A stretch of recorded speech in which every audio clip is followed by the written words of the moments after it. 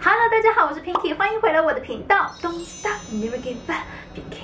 Don't stop, yeah.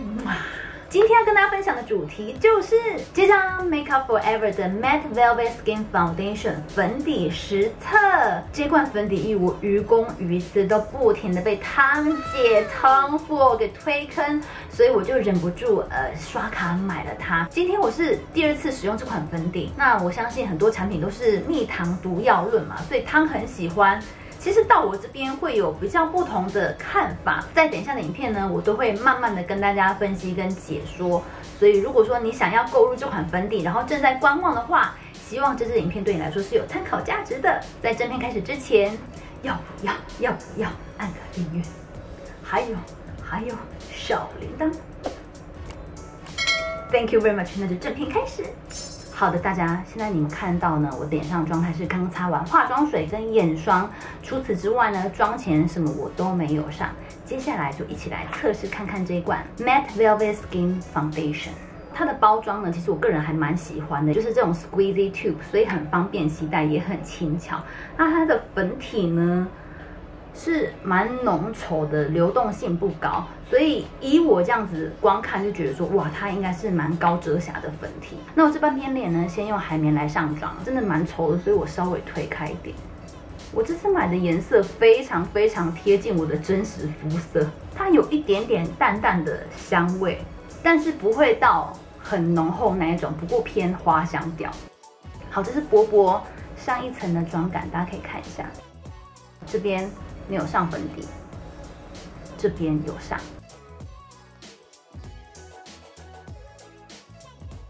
就我这样肉眼观察，我觉得它是有适度的均匀跟提亮我的肤色，然后小瑕疵呢也有遮掉七八成左右，整体的妆感非常非常的自然，我还蛮喜欢的。接下来这边我们来用刷具，一样我就是先用手点在脸上，哇，它真的很稠哎。我稍微把它匀开，这样才不会过于拉扯自己的肌肤。使用零三亿的斜角粉底刷，这支刷具非常的好用，非常 handy。好，这边呢是用刷具上完的薄薄一层。说真的，光用肉眼看，那个差别非常非常的细微。那如果说真的要讲的话，我觉得用刷具上的话，它遮盖毛孔的效果会比较好，因为刷具它本身有很多细毛嘛，所以就可以深入填满你的毛孔。所以这款粉底它本身对于遮盖毛孔的效果是嗖嗖的。给大家再近看一些些。观察毛孔的话，请大家细看我脸颊中间的部分。但是如果要讲整脸的妆效啊，我觉得毕竟它是比较浓稠的粉底，所以它用微湿的海绵蛋去上，会是比较匀透、比较好看的。那这边呢，就感觉有点干干的，然后不是那么的均匀。所以好，我接下来再薄薄的上一层，然后都是用海绵蛋把它匀开来，这样。不知道大家有没有注意到，它的粉体啊，在干燥之后的颜色会比刚上的时候暗一些些。所以如果说你要买的话，不要像我一样买太贴近自己的肤色。如果可以，请买白一号或零点五号，因为 Make Up For Ever 它出的色调跟色号非常的多，所以你应该可以找到你自己适合的颜色。我是因为我在网络上盲买啊，没办法。而且这款粉底它真的干的非常非常快。所以大家上妆的时候记得快很准。如果说你对自己上妆的速度比较没有把握的话呢，就半边半边上。那遮瑕膏的话，我今天就搭配使用最近爱用的迪奥遮瑕膏。之前在留言区，我看到观众朋友问我说，嗯，迪奥遮瑕膏跟 Jeffree Star 的比起来，他们两款的差别在哪里？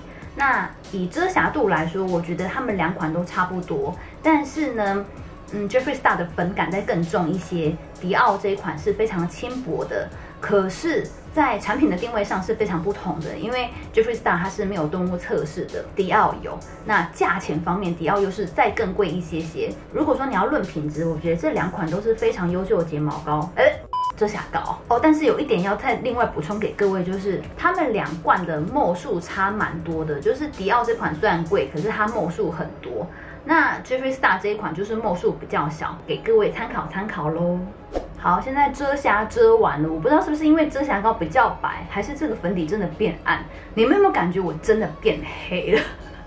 所以这款粉底在我脸上，它呃氧化的情况，或是它收干之后颜色暗沉的情况，嗯，是蛮蛮蛮明显的啊。但是没关系，我们可以用比较白的蜜粉去拯救它，稍微平衡一下这个肤色的色差。那今天的蜜粉呢，我要使用的是 Skinfood 的雪芙荞麦蜜粉，这个是一零清透色，大范围的把它铺上去。这款粉底啊，就是它不会自己收干，所以它在脸上还是会有一点点黏黏的，请定妆务必要做确实。这款粉底我算是用了第二次，所以才。对它比较了解。老实讲，第一次用的时候呢，我觉得它妆效虽然美，可是它暗沉的效果真的是太惊人了。这样子，你看这个粉上完之后，我又回到人间了。现在看很白，但是它吃进去之后会更贴合我脖子的颜色。这样，好的，现在时间来到两点三十八分，那我再去把我脸上其他的部分给完妆，等一下再回来跟大家一起 check 一下它整体的效果是如何。See you later, alligator. 现在时间来到三点三十四分，这中间我有去稍微做一下家事，然后让妆更加的吃进我的肌肤里面，所以大家现在看到这个妆效，我自己是觉得哎还蛮满意的。但是我发现一件事情哦，你看我手上的粉底液，哇，它颜色真的很深哎，所以它完全干燥之后的颜色跟它。原本粉底液的颜色，我觉得不止差一个色阶，差到两个色阶有。这个是新鲜刚挤出来的粉底液，这个是干燥之后的粉底液。大家在选购的时候，记得一定要是以干燥的颜色为主。好，我现在呢要去继续进行我的工作啊，去录制别的影片。那等一下呢，晚一点再跟大家 check 一下粉底的持妆效果如何。待会见。现在时间来到四点五十六分，带妆差不多两个小时了。然后因为我都是在冷气房里面吹冷气，所以它没有太大的变化。把光调弱一点给大家看看，就是基本上是完全没有脱妆，也没有出油。我觉得这一款它应该是有一点点抑制出油的效果，因为我发现只要画它，我的 T 字啊妆容都会很完整。呃。我的法令纹有微微的皲裂，但也还好。我拿海绵蛋压一下，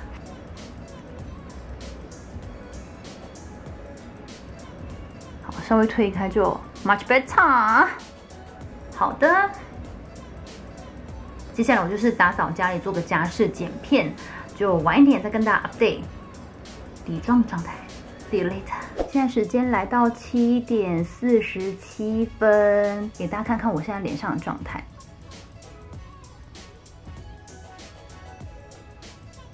刚刚我在做家事的时候完全没有吹冷气，就是烫衣服什么就让汗流，所以现在呢，鼻翼跟脸颊其实整张脸呐都有点微微的出油了。光泽感又有出来，可是我妆容的完整度并没有影响。那我现在拿面纸来按压一下，我们看看它的脱妆程度。基本上是没有什么掉的，很厉害。额头也来一下，嗯，也没有哎。所以呢，这款粉底它扒在你脸上的持妆效果是非常优秀的。我现在整张脸都压过了，大家看看。虽然说还是会脱妆，但是就是非常非常的细微。整体的妆容啦，说实在的，还是有微微的变淡。比如说像是我鼻翼的泛红啊，已经有慢慢的浮现了。但是除此之外，其他脸部的瑕疵什么的，还是被遮得蛮好的。那我就拿出我的美妆蛋，稍微匀一下。知道新加坡这么热。没有开冷气，不是在开玩笑的。我刚刚在烫衣服的时候，真的是汗如雨下。好，这样子稍微补个妆之后呢，又是一尾活龙。那姐夫今天会比较晚回家，最近他都加班很辛苦，所以我们今天的晚餐会比较晚吃。然后吃完晚餐休息一下，通常我会运动，所以等一下跟大家 check 的时候，应该就是我运动完准备洗澡卸妆的状态。期待。看他 hold 不 hold 得住，Rain on me。 待会见哦。大きます。いただきます。谢谢，谢谢，谢谢，谢谢。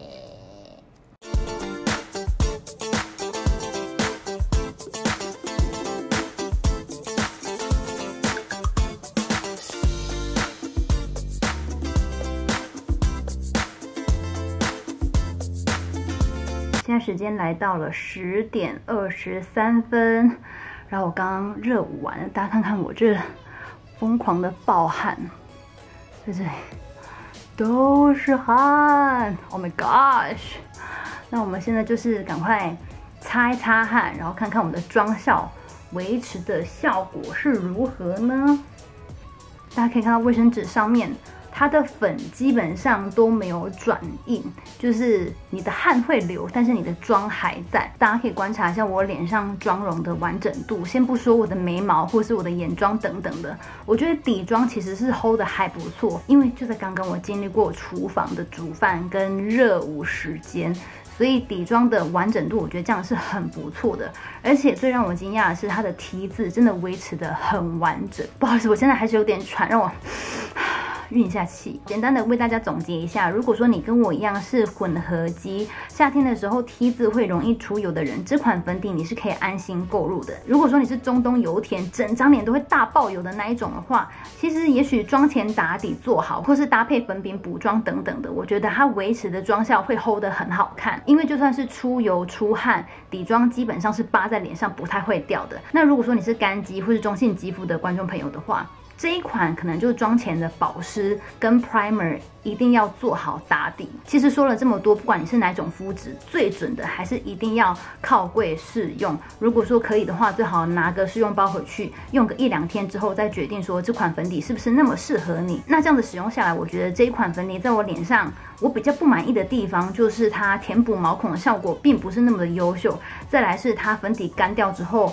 暗沉的颜色真的色差太大了。再次提醒大家，如果说你要买的话，一定要是以粉底液在你肌肤上干掉的颜色为准去购买。好的，我现在呢要去洗澡了，因为我跟镜头在讲话，我的汗还是一直飙。然后我是蹲在这边录影的，所以 gotta go。如果说大家喜欢这支影片的话呢，别忘了帮我按个赞，还有订阅、分享、按铃铛、订阅。分享按铃铛，按下小铃铛的话，只要我上传新片，它就通知你，所以请记得回来哦。然后在你离开这部影片之前，我要告诉你，记得你是最棒、最美、最 amazing 的，I love you so so much。那就下期影片见了，See you next time，拜拜。嗯。